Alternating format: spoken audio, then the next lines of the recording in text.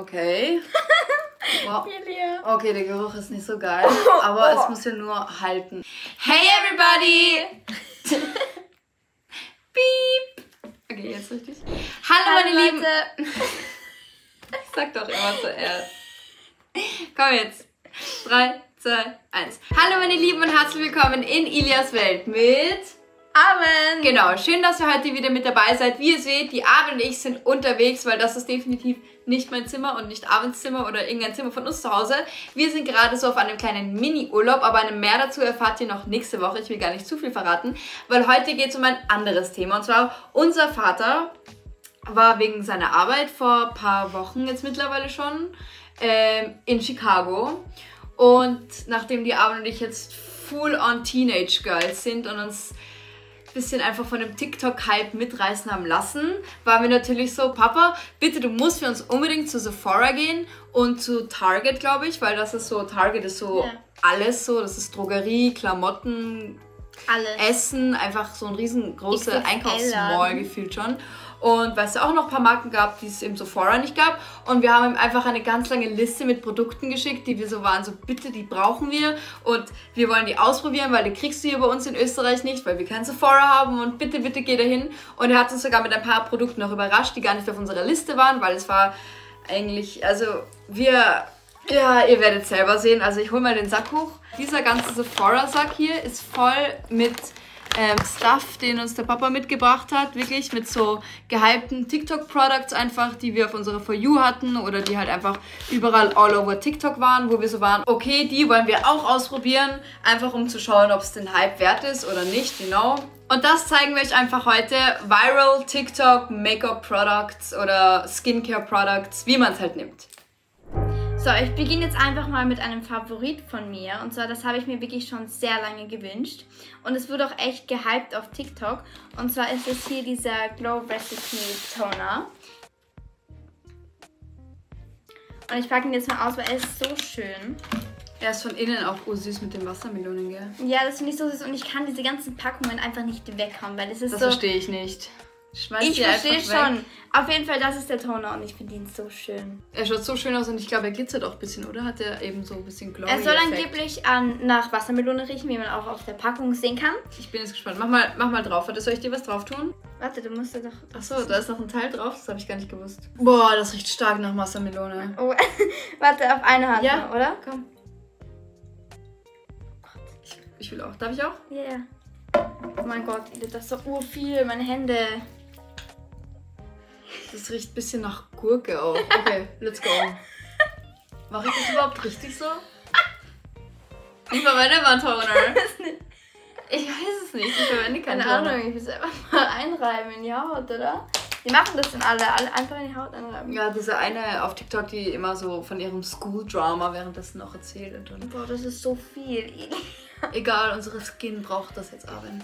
Ich fühle es, dass sie es braucht. Total. Aber ganz ehrlich, ich finde den Geruch gar nicht so gut. ich auch nicht. Also Zu ich- stark. Äh, nein, ich finde, es riecht nach Gurke einfach, aber so... Ich liebe Gurke. Ja, ich liebe Gurke auch, aber es riecht so nach Wassermelonengurke und man will halt das nach Wassermelone. Ich meine, ich weiß nicht, ob sich der Toner so gut auf der Haut anfühlt, das können wir euch Ich nicht hoffe. sagen, aber man fühlt sich so sticky. Ja, schon. Aber ich finde es, also, wenn ich es jetzt so rate, muss Glow ich Recipe! von 1 bis 10. Ich glaube, ich würde so um die 9. Ah, wenn das kommt, übertreibt nicht. Ich gebe dem Ganzen neun? eine 7 von 8. Also ich würde so eine 8,5 oder 9 geben. Ich gebe dem, glaube ich, nur eine 7, weil ich meine, erstens, es ist voll überteuert, zweitens, es stinkt und drittens, es ist ein Toner. Ich liebe total viel verwendet. Aber das war eh schon hier. Wir haben nicht so viel verwendet. Vor allem das Produkt wird jetzt nicht gerade wieder mehr, wenn du es verwendest. Aber es ist so schön. Ich habe eine Make-up-Marke für mich entdeckt und zwar Milk. Ich finde die so süß. Ich, bin ich glaube, ihr kennt das bestimmt. Das ist ein Produkt, das habe ich mir nicht gewünscht, aber die Verpackung ah, schaut ziemlich cool aus. Mein Vater hat mich damit ein bisschen überrascht, weil ich war so, okay, was ist das? Ich hatte das noch nie auf meiner For You, aber es schaut irgendwie cool aus. Ähm, deswegen genau. Und das ist so ein, ein, wie heißt das? Sunshine Oil. Also das kommt, das schaut so aus.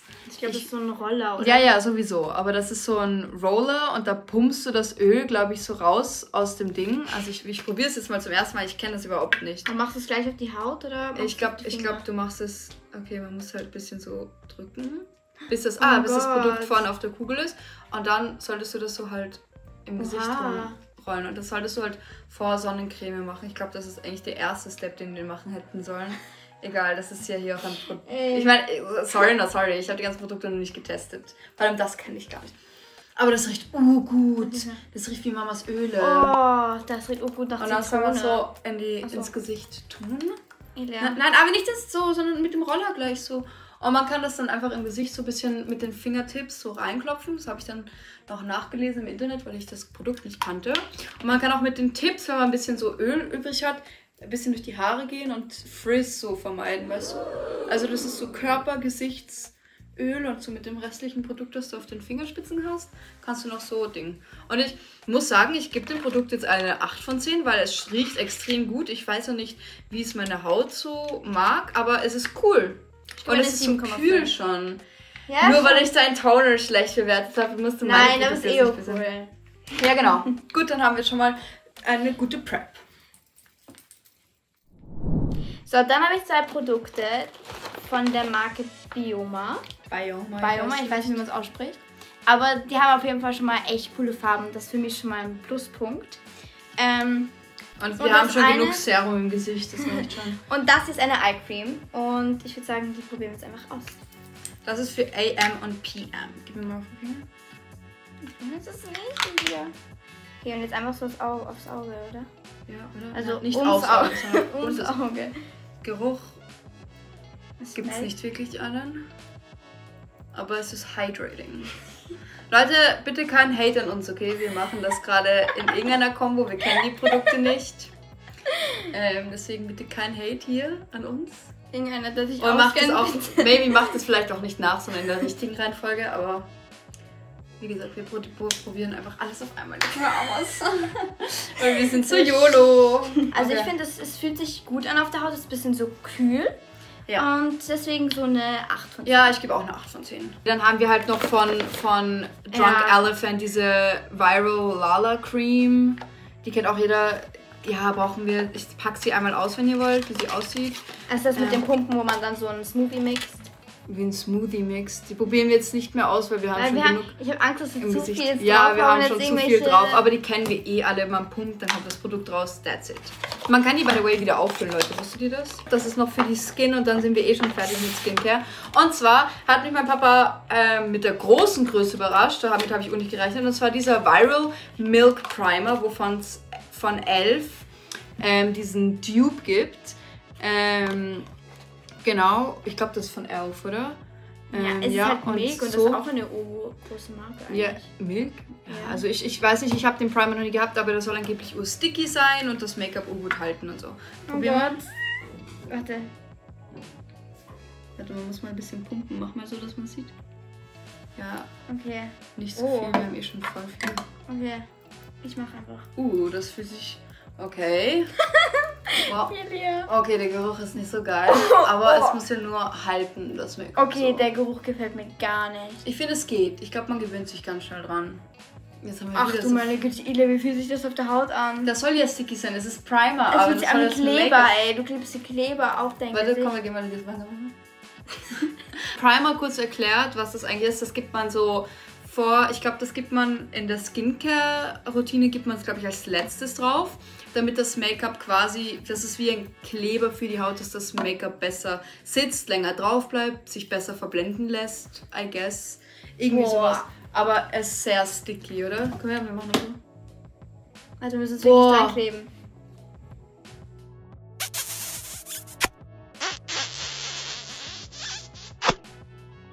Hat man das gesehen, wie die Haut so?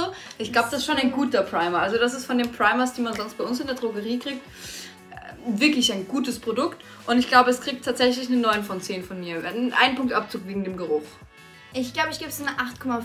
Weil ich, ich finde, es ist, es ist zwar kühlend auf der Haut, aber ich finde, es, es fühlt sich irgendwie komisch an auf der Haut. Ja, weil es ungewohnt ist. Aber ich, Ja. es ist ein guter Primer, glaube ich. Also, ich Ist habe noch noch einmal, Skincare. das ist so süß, finde ich. Und zwar einmal diese Starface. Äh, diese Starface-Sticker.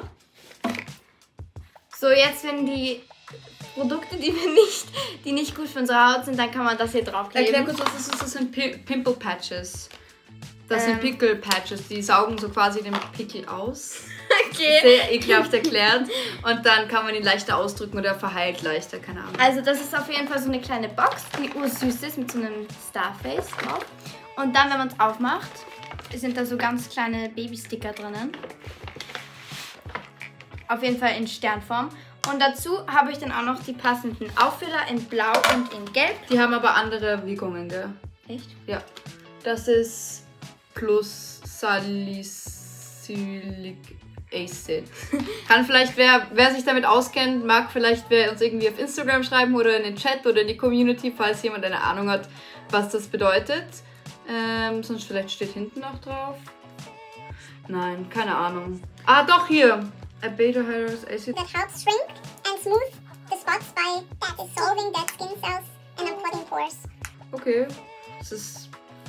Hab trotzdem jetzt nicht mehr Ahnung, was das jetzt anders macht als von den Also anderen. Also, bitte- ich kann zwar Englisch, aber es ist so. Bitte Informationen. Ja, genau, zu den blauen. Aber Soll ich mir's- einen drauf. Soll ich mir draufkleben? Aber irgendwo, wo du kein Make-up nachher drauf gibst. Schau, mach Ja. da aufs Kinn oder so. Das ist dann ein Kin-Care, kein Skincare. Dann nimmt die den Star runter, weil die schauen ja eigentlich ursüß aus. Mach's hier, okay? Okay. Süß. Sag her. Sehr cute. Unser Star. Ich bin jetzt ein Starface. Stell dir mal vor, ich gebe alles von, dann Oh ich Gott. wirklich ein Starface. Ja, du kannst zu Fasching gehen als Starface. Pim Pimple Patch. Aber ist auf jeden Fall ursüß. Ja. Machen wir mit dem ersten Make-up-Produkt weiter. Ja. Okay, und zwar, ich habe mir schon überlegt, was ich mache, und zwar Milk. Ähm, die haben ja Bronzer und Blush Sticks. Und ich habe nur, weil er hier gerade vor mir ist wegen dem Spiegel, ich habe hier nur so ähm, Puder Blush. Und ich wollte mal Cream Blush auch ausprobieren. Und da haben mich die von Milk natürlich sehr angesprochen. Aber das ist ein Bronzer. Ile, wie verblenden wir das? Mit dem Finger. Man macht das alles mit dem Finger einfach. Ähm, aber so Es ist schaut so er einmal. süß. Es ist halt Mini-Version, finde ich eh gut, weil wenn ich das Produkt nicht so feiere, habe ich zum. Also habe nicht mal ich, sondern mein Papa ähm, nicht unabsichtlich äh, Geld Schau, das ist die. Größe von der Hand und dann. Er ist so süß, er passt auch perfekt in jede. Tasche oder so für den Sommer.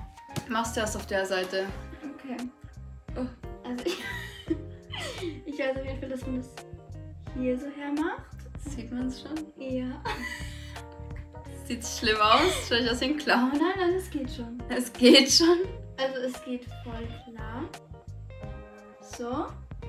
Ja. Jetzt hier noch. Nicht, nicht, nicht. Das reicht. Wir probieren es ja nochmal aus. Ich will ja am Ende nicht ausschauen wie ein Clown. Okay, ich mach's Sag mal wie ich jetzt ausschaue. Warte. Ey, sieht gar nicht so schlecht aus. Und so, so lässt man es dann halt auch. das ist ein Sch- Scherz. Okay, komm her. So, wir wollen hier die Jawline. Bitte. So, auf Kinn. Aber das Produkt ist schon mal ursmooth so. Und damit konturiert man das Gesicht ein bisschen, um schmaler auszusehen, um bräuner auszusehen. Einfach. Was denn? Bist du nicht zufrieden? Nein. Ich finde es Komm, also mal Nimm von deinem Starface den Spiegel, ich nehme von dem. Und jetzt verblende ich das einfach mal mit meinem, mit meinem Finger hier und hoffe, dass ich hier nicht aussehe wie ein gebratenes Hühnchen. ein gebratenes Hähnchen. Könnt ihr das sehen? Aber es verblendet sich gut. ja, ja, es ist ja auch Cream. Leute, sieht es besser aus oder sieht es schlimmer aus? Oder schon mal bei mir? Irgendwie Sieht es so gut aus? leckig. Ja, mach's mir besser bitte. Ich habe keinen großen Spiegel. Da muss ich sowieso noch drüber gehen. Ich sehe es auf der Seite irgendwie. Aber es ist schon urschön sticky so. Aua! Warte, ich habe da eh extra Tücher hingelegt. Es ist gut, Ilia. Was sagen wir zu dem Produkt, Leute? Findest du es, es hat was Ich finde, es gebracht? hätte mehr. Mehr. mehr Ja, eh, aber es ist weg bei dir da. Echt? Ist weg? Ja, ich sehe nichts mehr. Oh Gott, oh Gott, oh Gott, oh Gott, oh Gott, oh Gott. Ja, ich glaube, wir müssen uns erst ein bisschen auseinandersetzen mit dem Produkt. Aber ich glaube, sonst so vom Auftragen her und von der Größe Aber her. es geht auch gut zum Verblenden. Ja, 9 von 10. Ja. 9 von 10. Ja, Finde ich ein stabiles Produkt. Ja. Aber wir haben noch vergessen, Starface zu bewerten. Stimmt, okay. Äh, wie finden wir das Produkt? Ich Also, habe wir es schon mal bei der Kathi ausprobiert, weil die Kathi war in London und hat sie mal mitgebracht und hat mir eins gegeben. Ich weiß, dass die Produkte 10 von 10 sind. Es ist total süß und es hält aber jetzt nicht so bombenfest, deswegen muss ich hier die ganze Zeit drauf drücken. Aber ich finde es süß. Wenn wir Du wissen. sollst auch eigentlich auf die trockene Haut geben, ne? Unsere Haut ist sehr sticky. Also ja, deswegen. Schau. Ich gebe eine 9,8 von 10. 9,8, okay, wir steigern uns, wir steigern uns. Das ist schon jetzt schon bei 9,8, Leute. Okay, Arvin und ich machen beide weiter mit einem Blush. Und zwar, ich habe mir Matching zum Bronzer auch den Milk Blush geholt in der Farbe Flip. Ah, und der Bronzer war in der Farbe Baked. Ähm, das ist die Farbe Flip. So schaut es aus, das ist wieder genauso groß wie der andere. Der hat ein graues Packaging, ja. Und der ist halt eben genauso groß und auch super, super süß. Und Ja. ich habe von Rare and Beauty ähm, auf Heißt es nicht Rare Beauty? Ah ja, sorry, ich verwechsel es mal. Mit was? Rare and Beauty. Rare Beauty ähm, den Blush ähm, bekommen. Auch aus Überraschung so, den habe ich mir nicht gewünscht. Ich habe gesagt, das Aber in der Farbe. Happy. Aber die ist eigentlich immer ausverkauft, oder? Die ist doch eigentlich. Nein, das ist eh. Aber ich liebe es. Also, wir testen es aus. Also, es soll anscheinend nur pigmentiert sein. Ich glaube, man macht auch. oh! Oh no. Soll ich auf beiden Seiten jetzt. Was machst du? Auf einer. Ich tue mir auch immer auf der Nase. Die ganze Nase? Nein, nur auf die Hälfte, weil auf der anderen Hälfte kommt die andere Farbe drauf. Ja, was was? Aber soll ich, What do you soll ich jetzt bei beiden Seiten den verwenden? Ja, ja, weil du hast ja keinen Blush mehr, oder? Ich habe ja zwei. Ich bin nämlich ein bisschen Blush und Highlighter addicted. Also das sind so meine zwei Must-Have-Produkte, die ich... Ah, ich habe ja extra meinen Pinsel. Ja, ich Das hoffe. kann ich actually mit Pinsel machen, Leute. Aber ich mag das eigentlich ganz gerne mit Kann den ich dann Fingern meinen gerade. auch? Kann ich das dann für meinen auch Ja, verwenden? verwend's dafür, weil ich mach's lieber mit den Fingern. Und das Coole, was ich halt bei Cream Products mehr mag, ist, dass sie dir halt einen Natural Glow einfach so gleich mitgeben, weil sie so creamy sind. Oh mein Gott. Oh, oh mein Gott, Aaron. You're such a crazy eine rote, girl. eine Ach, Aaron, du bist ein Tomate. crazy girl. Aber so, was sagt ihr, Leute? Sieht man Brush und Bronzer? So von der Skala von 1 bis 10. Also ich finde das Produkt ganz süß so, aber ich glaube, der Blush kriegt von mir tatsächlich eine 9 von 10. Wie viel hat der Bronzer von mir bekommen? Auch eine 9 Eine von 10? 9 von 10. Dann gebe ich dem Bronzer doch nur eine 8 von 10 und dem Blush eine 9 von 10. Also ich gebe meinem Rare Beauty Blush eine 10 von 10. Ich finde nur der einzige, nein, ich gebe eine 9,9. 9,9 Leute, ob heute noch irgendwer die 10 von 10 kriegt, bleibt dran. Nein, aber Aber was? 10 von 10, aber bei dieser 10 von 10 0,1 sollte es kein Aber dieser mehr geben. 0,1% ist wegen, weil man es einfach, wenn man, Gut. 9,9 von 10, Leute. Ja, Wir machen weiter, Leute. Und zwar, ich habe noch einen zweiten Blush. Dazu mit zu sehen, und zwar den Pixi. von Pixie. Ich hatte schon mal von meiner Glossy-Box Produkte von Pixie und ich bin eigentlich ziemlich zufrieden damit. Und der war auch all over TikTok. Und ich habe ihn in der Farbe, Sekunde, Ruby. Schauen wir mal, wie viel man rausdrehen kann. ja, sonst machst du vielleicht bricht er ab.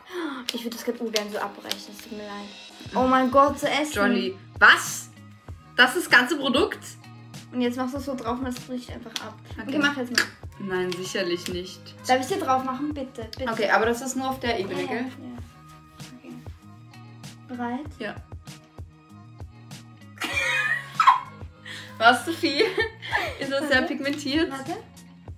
Ach du heilige Güte, Maria, Mutter Gottes Abend. Das war way too much. Das ist way too das much. Doppelte vom Milk. Das ist So, auch so du ein... willst einfach nur, dass ich so aussehe wie du, Das ist oder? auch so ein... Warte, wie heißt das? Ein... Komm zum Punkt. Die, die immer die Zeichnungen auf dem Gesicht haben. Ein... ein Krieger, Nein. Wikinger, Nein. Die, die immer auf den Pferden reiten. äh, Trojaner, In der Wildnis. wilde Menschen. Gut, lass mal. Oh mein Egal. Gott, Abend, du hast mich viel zu viel fallen. Warum gibst du noch eine zweite Schicht drauf? Willst du mich veräppeln? Ich versuche hier einen süßen Make-up-Look hinzukriegen, um zu schauen, ob es der TikTok-Hype wert ist. Hype- Und du Hype gibst mir zwei Striche drauf. Einer hätte gereicht. Wegen teilst du es mit mir mit. Okay, aber jetzt haben wir die zwei Blusche verglichen. Welchen finden wir natürlicher, welchen finden wir süßer? Also den finde ich natürlich, ja. Den findest du natürlicher? Nein. Also ich drehe mich einmal so. Das Nein, ist der Spaß. Und das ist der Milk. Den finde ich natürlicher. Mhm. Aber auf der Nase hat er irgendwie komische Flecken. Aber, was war, an, was war die andere Frage? Ähm.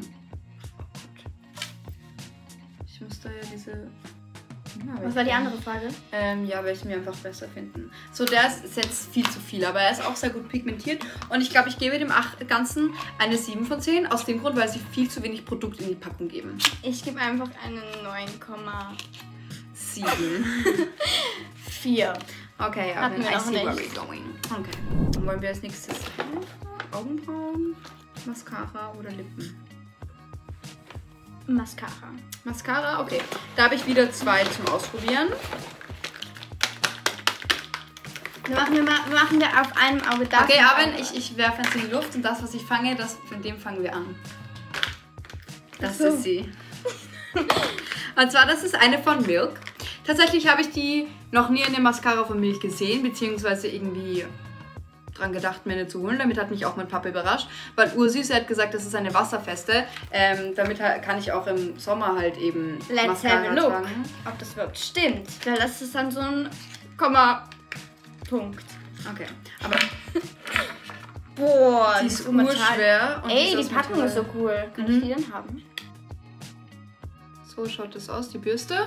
Und ich würde sagen, wir probieren es jetzt einfach auf einem Auge aus. Ich habe extra einen Wimpern-Curler with me. Hast du? Für dich einen Oh.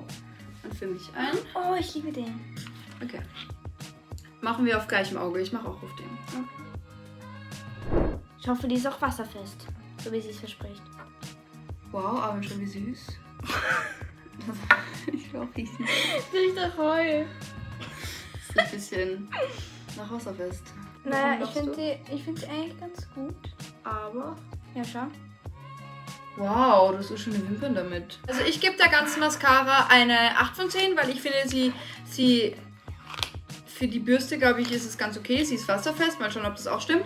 Aber sie riecht jetzt nicht so irrsinnig ekelhaft. Die Verpackung ist super, super cool. Und sie, ich finde, sie gibt es für einen Natural Make-up-Look die perfekten Wimpern. 9,8, weil sie nicht so gut riecht. Aber sonst stimme ich nicht zu. Okay, machen wir weiter mit der nächsten Mascara, die ich noch habe.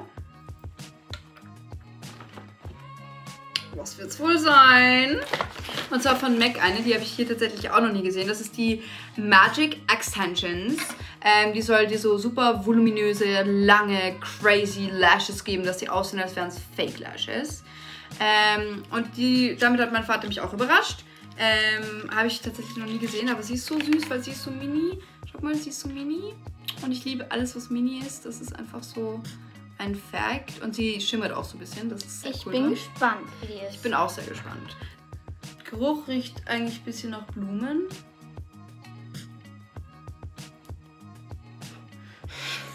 Was denn?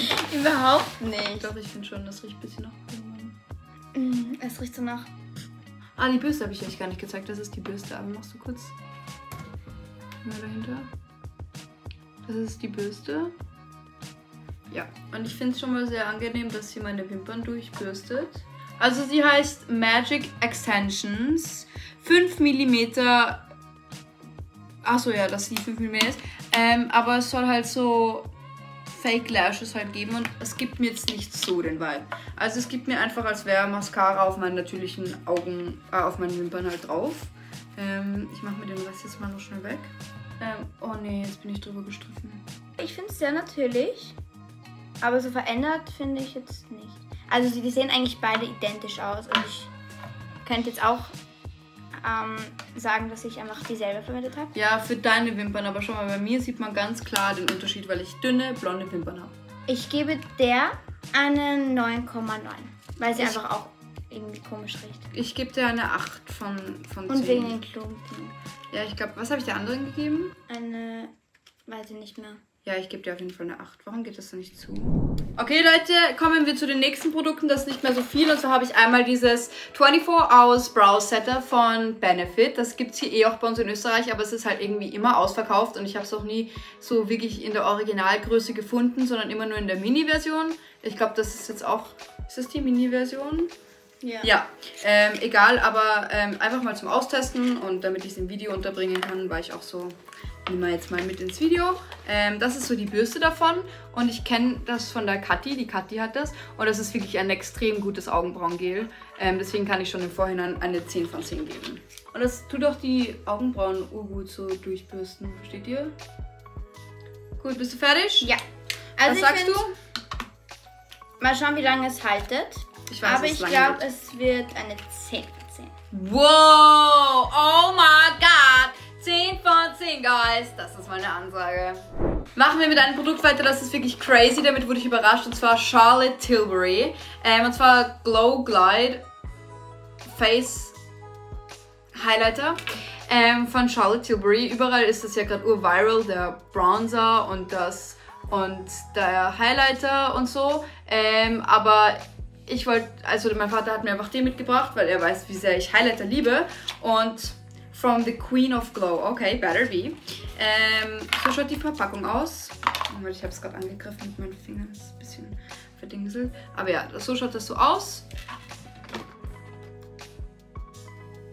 Actually ziemlich cool so. Und äh, mal schauen, ob der Highlighter das verspricht, was er. Wow, schau wie schön, da ist so Sterne drinnen. Schaut mal. Was nimmt süß. dafür? Ja. Und ich verwende ihn jetzt einfach mal so, wie ich meine normalen Highlighter auch verwenden würde. Da ist jetzt endlich mal ein Spiegel dabei. Derzeit habe ich ja den vom Benefit.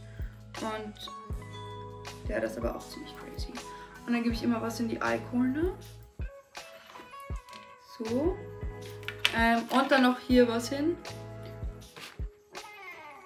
So, und auf die andere Seite. Ja, Highlighter kann ich einfach immer nur eine 10 von 10 geben. Ich liebe Highlighter einfach über alles. Das wissen alle Leute, die unsere Schminkvideos geschaut haben oder whatever. Die wissen einfach, dass ich Highlighter über alles liebe. Deswegen kriegt Charlotte Tilbury Baby eine 10 von 10 von mir. Von mir. Das nächste Produkt ist ein Produkt, das wir beide bekommen haben. Und zwar ist das einmal, das haben wir beide bekommen, vom Benefit das Benetint. Das kriegt man eh auch hier in Wien, aber ich glaube in Amerika ist es ein bisschen billiger, glaube ich. Alle Produkte generell. Ich finde die Verpackung einfach schon echt süß, Mhm. ehrlich gesagt. Und zwar, das gibt man einfach auf die Lippen. Das ist ein Benetint. Es ist so ein, ein Tinted Lipstick, versteht ihr? Das bleibt halt einfach drauf. Und das kann man halt auch als Blush verwenden, was ich auch cool finde, weil es einfach ganz natürlich und bleibt aber auch den ganzen Tag.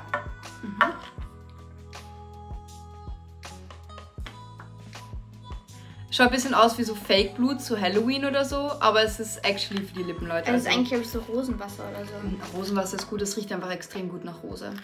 Gut, aber ich glaube, 10 wir sind. 10. Ja, ja, sowieso. Aber ich glaube, wir sind mit allen Produkten durch, oder? Ja. Schaut mal, Leute, was sagt ihr zu unserem Final Make-up-Look?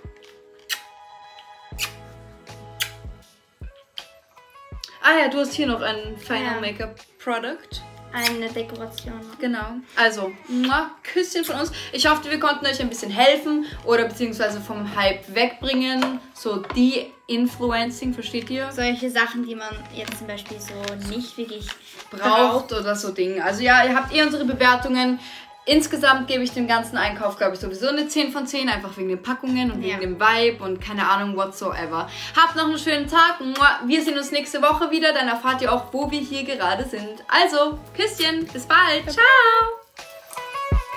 So, jetzt brauche ich aber unbedingt noch mal einen Highlighter. würde ich so eine rote Backe da. Ja, wenn du mir viel zu viel drauf gibst, Arvin, und wir müssen jetzt Abendessen gehen. Like, how am I supposed to do this?